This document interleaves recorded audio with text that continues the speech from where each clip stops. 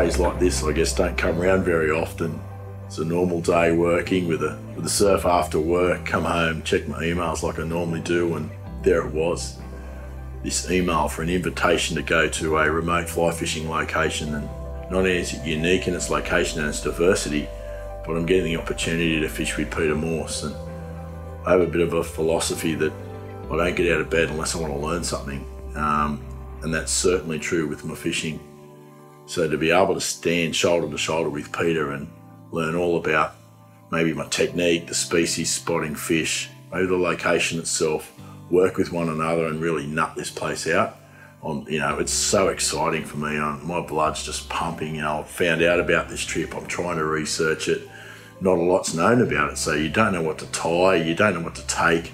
So pretty much been tying like mad, trying to to cover everything. You know, from shrimps to Clousers to, to GT flies, flats flies, blue water flies. Um, it's all got to be there. It's all got to be in the box, and I think that really adds to this sort of sort of a trip. You know, these sort of diverse locations. It gives you the opportunity to do so many different things in a week's fishing that that week fishing trip actually ends up being about three or four weeks with the preparation and the anticipation of it all. So, you know, I've watched Peter Morse from a from a young guy, and when I first started to fly fish, so to be next to him, that's a dream come true. The trip's a dream come true. I can't wait.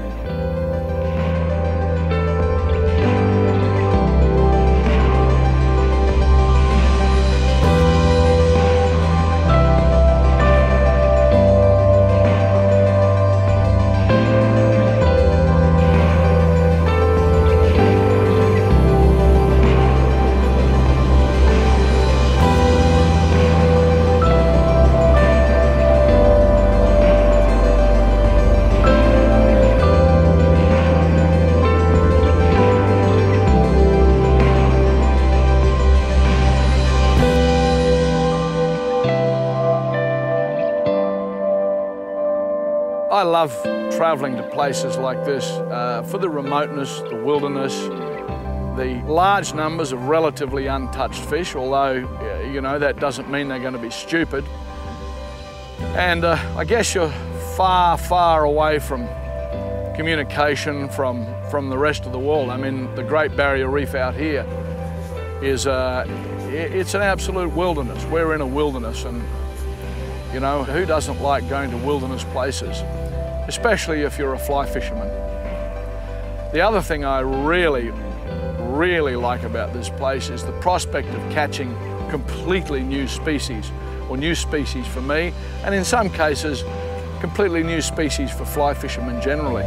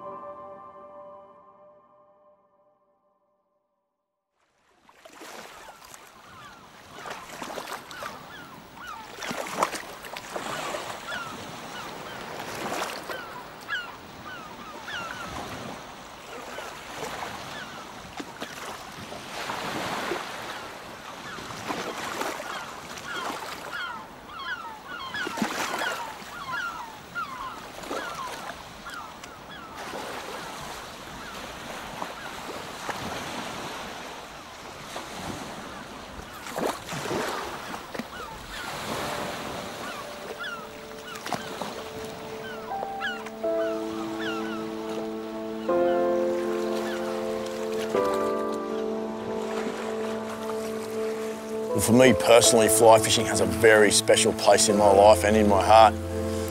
I just love it. I love what it brings. I love it where it takes me. It takes me to so many unique places around the world and in Australia, especially Australia. I love fishing within it. Such a wonderful country and so many species, and the diversity here is amazing, and that's what I really love. You know, you never know what you're going to catch, and I really love that. I don't care whether they're this big or you know, or they're or they're trophy fish, and that's what I really love about it. I've, I really enjoy preparing for a trip, researching, tying those flies, and the anticipation of the whole thing. You know, from the time when I sign up to the time when I when I get on board a boat or I step onto a flat.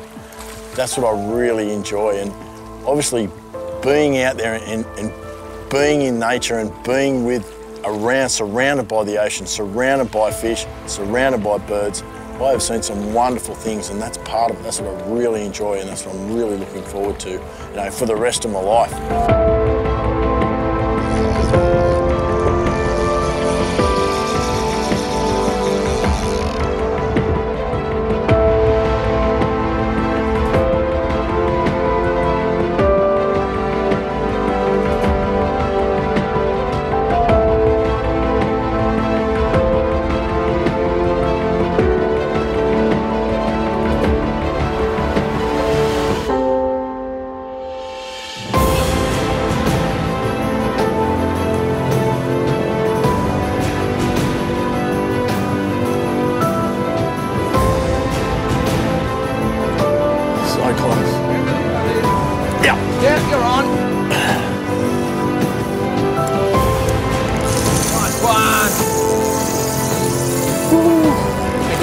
Go under. Go under, mate.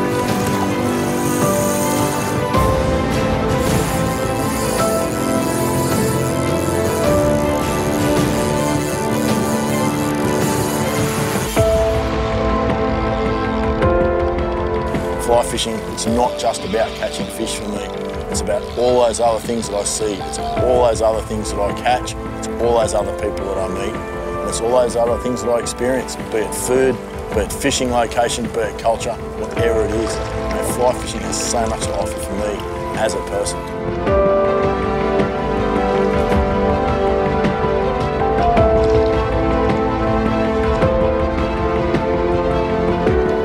Tomorrow's going to be better. The tide's going to be a little slower. Blue sky. Just beautiful. Yep. Hang on, I got to stick mine out a little bit.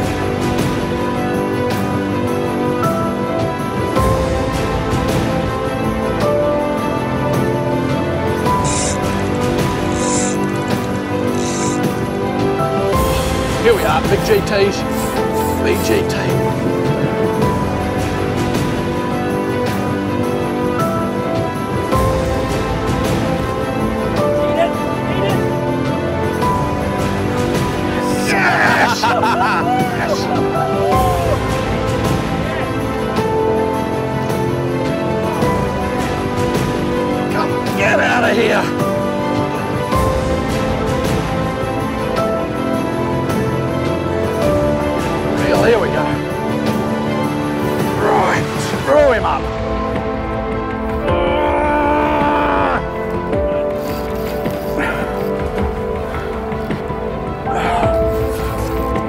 he's gonna see that reef edge.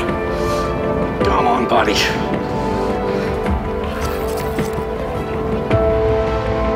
I've turned him, I think. No, no, he just woke up. Oh, he's seen the reef. Ah.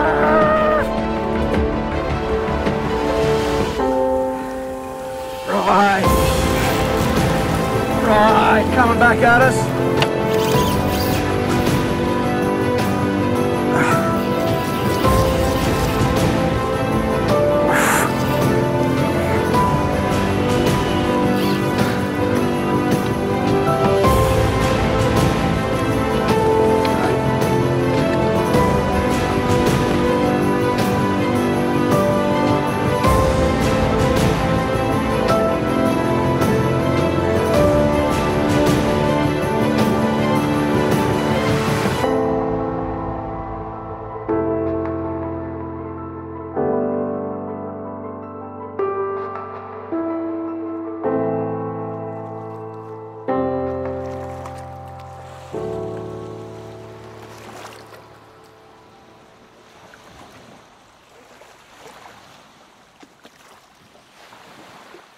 Yeah, Claremont Isle, sort of northern inner Great Barrier Reef area, north of Princess Charlotte Bay and south of Lockhart River, or the area known as Portland Roads, in an area that's inaccessible to uh, small boat fishermen, I suppose. There's a few islands out there, massive flats, lots of reefs, and, uh, but its remoteness makes it really untouched.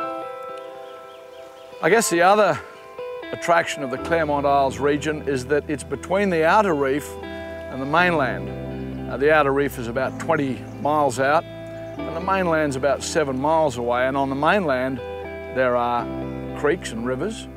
Then you've got inshore mangrove islands, you've got the sand cays and the big reef flats and then the outer reef uh, 20 miles away and you can cover all of this. I mean the boats on the mothership we're on can cover this in a different day. Different boats can go to different areas so we can scatter far and wide and come back at the end of the day and someone's been up a creek catching barramundi and someone can have been out on the, the outer reef edge catching dogtooth tuna. It really is an extraordinary place. My introduction to it was when I worked as a guide in Weipa and flew often between Weipa and Cairns and the plane used to come north up the coast and then turn at Princess Charlotte Bay and head west to Weipa. And I remember many times looking out across Princess Charlotte Bay at all the rivers and then out across the ocean and seeing these immense, immense areas of sand flats and thinking back then, this was in the 90s, God, I'd like to fish there one day. And I remember talking to Damon about it quite a few years ago. We were talking about the possibility of bonefish in this part of the world and I I told Damon about the flats I'd seen off, off uh, Princess Charlotte Bay, and I guess at the time he'd probably already marked them on a chart as somewhere to explore, but that was long before he'd come up into this part of the world.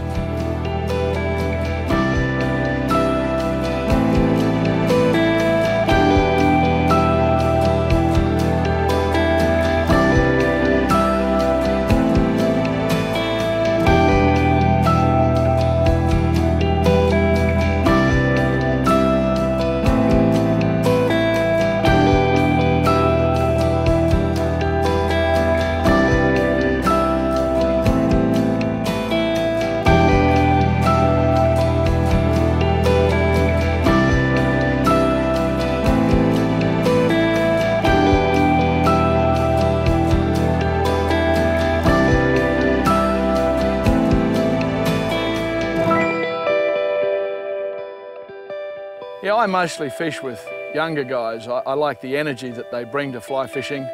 And uh, I've sort of hit my 60th year this year. And young guys, if you start to flag a little, can drag you along with them and, uh, you know, keep the, keep the energy levels up.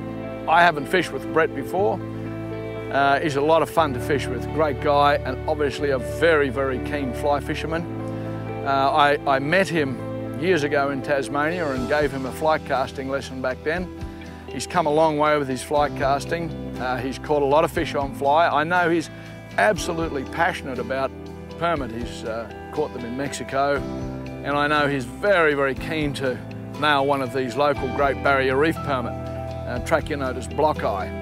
A very, very pretty fish and uh, I know he would love to add that to his species list. They're a very deeply addictive fish.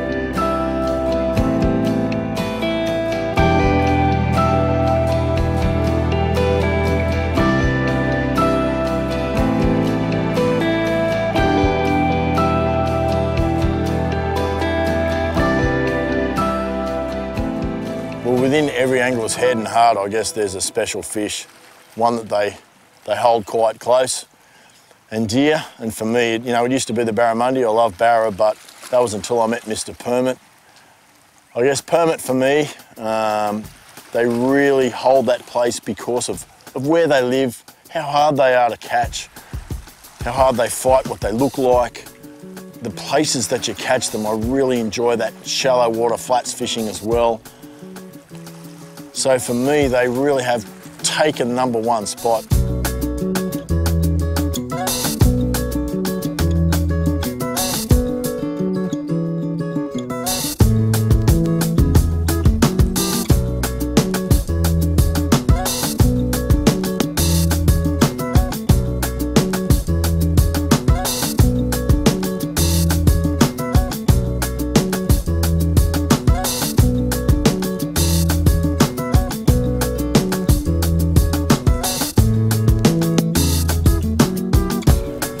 looking, he's looking.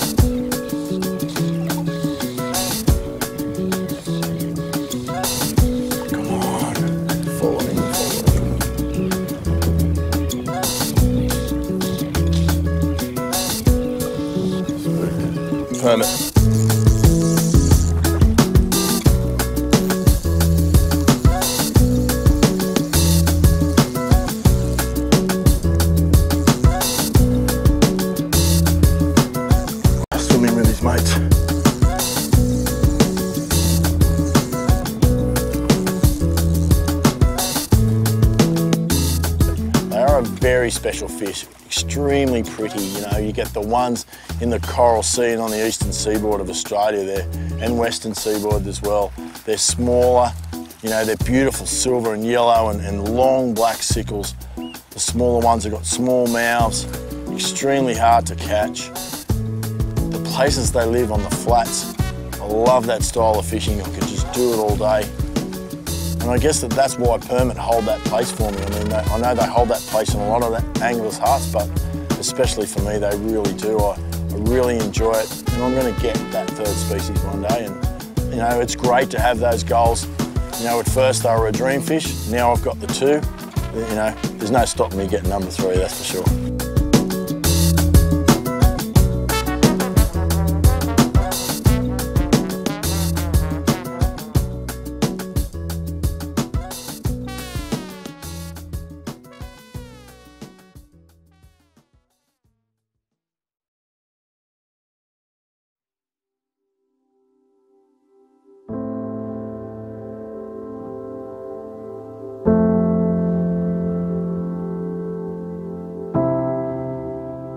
Really fascinating and challenging things about fly fishing in Australia is the range of species that we do get. I mean, in other parts of the world, they're perhaps dealing with uh, two or three species. Out here, we could encounter almost anything on the flats, uh, from queenfish, a multitude of different trevally species, permit, blue bastards, and other fish as well, through the emperor species. And being able to identify them, uh, because they all require some subtle differences in presentation and fly, being able to identify them before you actually make a presentation, that's the challenge. Know what you're throwing at before you actually throw. Like a trevally is going to want a fast retrieve. A permit is probably going to want the fly sitting on the bottom with a couple of short strips. A blue bastard is definitely going to want the fly just sitting there with a couple of short strips as it approaches and then you've got to read its reaction. So knowing what the species is before you actually throw your fly at it is a big help.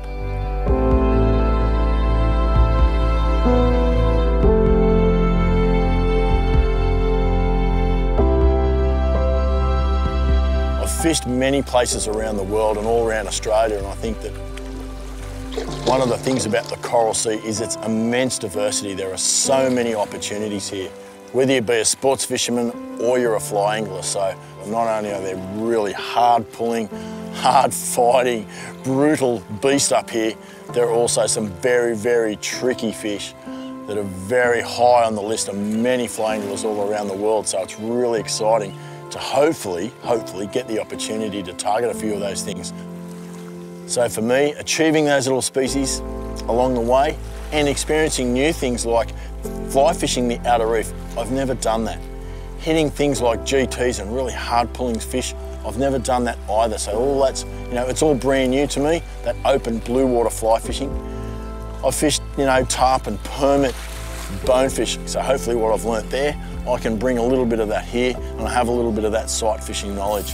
But some of the other stuff around the reefs, well, that's what I'm really looking forward to getting into as well. Seeing what I can catch. Every cast, you never know what's going to happen. You're going to get blown away or you're going to get that fish of a lifetime. That's one of the beauties of the Coral Sea region.